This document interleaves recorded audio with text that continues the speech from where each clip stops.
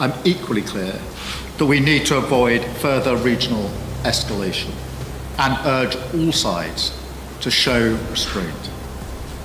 Iran should not respond.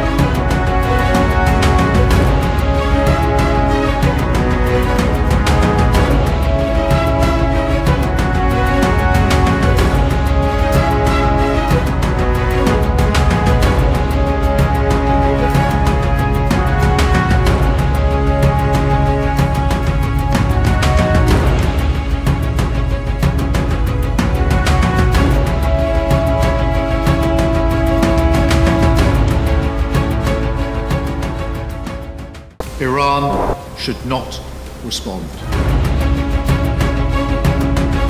I am clear that Israel has the right to defend itself against Iranian aggression. I'm equally clear that we need to avoid further regional escalation and urge all sides to show restraint. Iran should not respond. Look, I mean, the, the, the most important thing here is de escalation.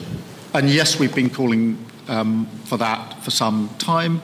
Um, as you know, I made a call myself to the President of Iran um, and have repeatedly had discussions with others in the region, including, of course, the Prime Minister of Israel. The nations of the Commonwealth are increasingly important to the UK. 56 countries drawn from every continent, a third of humanity, all united by shared values and shared interests. So we agreed a plan here in Samoa to boost investment across the Commonwealth. I announced today the new UK Centre for Trade Expertise to turbocharge trade and growth in developing countries, which will, in the end, benefit all of us.